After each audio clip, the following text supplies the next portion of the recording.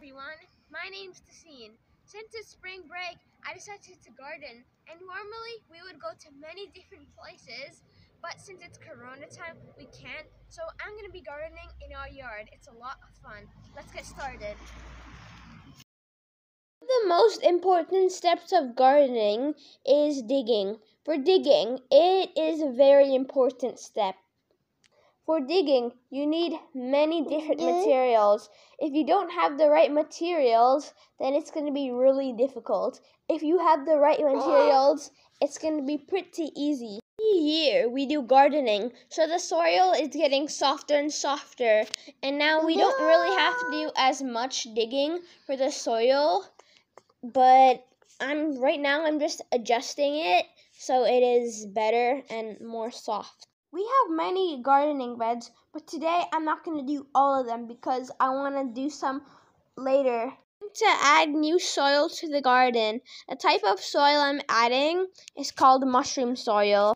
I like to put soil into a wheelbarrow because it's a lot easier and it's pretty fun to plant and do digging. It's really fun. I don't know why, but it's one of my hobbies. Well, not really hobbies. It's like I just love doing it.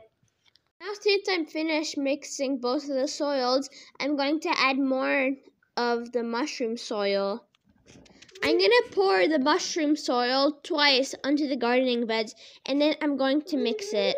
To pour the new soil into the gardening beds, it's really fun. You just need to use a shovel, take the soil out of the wheelbarrow, and then just slowly and nicely pour it onto the gardening beds. The new soil and the old soil, I'm going to mix all of it.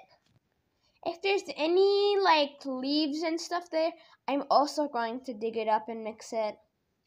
You have to mix both of the soils really well. Put new soil in the old soil twice and then I mixed it. Now it is all ready. Now we have to plant. And now since we finished doing all this, make sure to like and subscribe to Various Variety and share this video. Bye!